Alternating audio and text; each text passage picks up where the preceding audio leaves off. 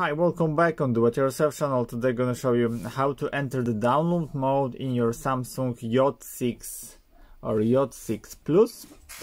To do this operation you need to have your uh, USB uh, cable inserted into your computer and turn off your phone here.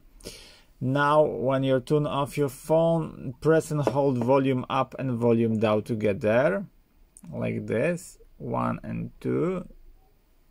Both key are uh, press and hold it. Whoop.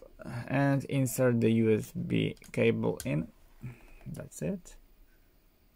And voila you are in download mode. That's it for now. Simply add it is so I hope the video is helpful for you. If yes you can leave like leave comment and leave subscribe and see you by next video. Hey